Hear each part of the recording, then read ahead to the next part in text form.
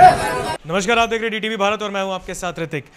पूरे देश सहित बिहार में अब वैक्सीनेशन की प्रक्रिया को और तेज कर दिया गया है। 18 से 44 के बीच के जो लोग हैं, उनके लिए भी वैक्सीनेशन की प्रक्रिया शुरू कर दी गई है। देश के प्रधानमंत्री नरेंद्र मोदी ने एक मई से कहा था कि 18 प्लस के जो लोग हैं, उनको वैक्सीनेशन की प्रक्रिया अब शुरू कर दी जाए।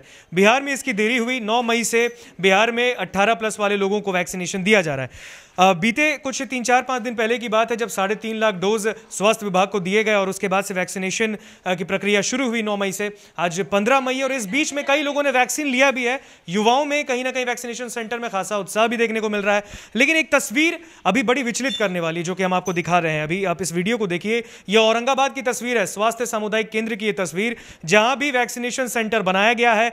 लेकिन जैसा कि आप सब जानते हैं कि वैक्सीन लेने के दौरान भी आपको कोरोना गाइडलाइन का पालन करना ही होता है, क्योंकि आप जब वैक्सीन लेने जाएँगे तो वहाँ पर ज़ाहिर सी बात है, भीड़ भी होती है, लोगों ने रजिस्ट्रेशन कराया होता है और उसके बाद आपको वैक्सीन मिलता है। लेकिन इस बीच जो पेशेंस लेवल होता है बहुतों का, वो खो जाता है। और यही हुआ औरंगाबाद में। औरंगाबाद की जो तस्वीर आप देख रहे हैं, इसमें लोगों के बीच वैक्सीन को लेकर काफ़ी ज़्यादा तूतू, मैमे हो गई। दो पक्षों के बीच विवाद हो गया और दोनों में हाथापाई तक की नौबत आ गई।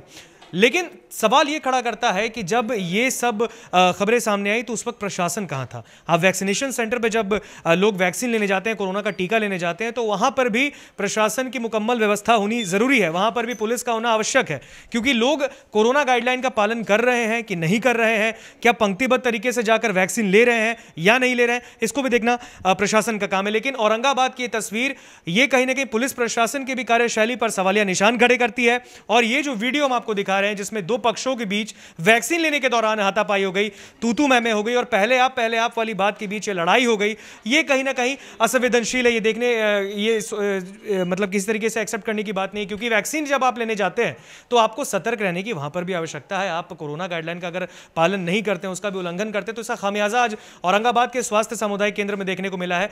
और फ़िलहाल जैसे कि खबरें सामने आई कि पुलिस को भी इसकी सूचना दे दी गई है, जहाँ दोनों पक्षों के इस मारपीट को रोकने के लिए पुलिस भी मौके पर पहुँची और वहाँ पर इन सबको, इन दोनों पक्षों को मामला शांत कराने के लिए पुलिस अपना काम कर रही है। लेकिन सवाल यही खड़ा होता है कि वैक्सीन लेना सबको अनिवार्य है। वैक्सीन लीजिए, लेकिन शांतिपूर्ण तरीके से वैक्सीन लेना है। लगातार आपको सरकार भी कह रही है, आपको स्वास्थ्य मंत्री भी अपील कर रहे हैं कि शांतिपूर्वक तरीके से आप वैक्सीन लें, क्योंकि वैक्सीन पे सबका हक है।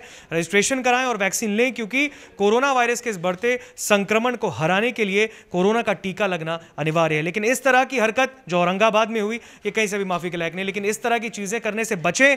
कोरोना का कोई इस खतरनाक संक्रमण में टीका लें, लेकिन शांतिपूर्वक तरीके से। फ़िलहाल खबरों में इतना ही। बने रेडियो टीवी भारत के साथ। नमस्कार।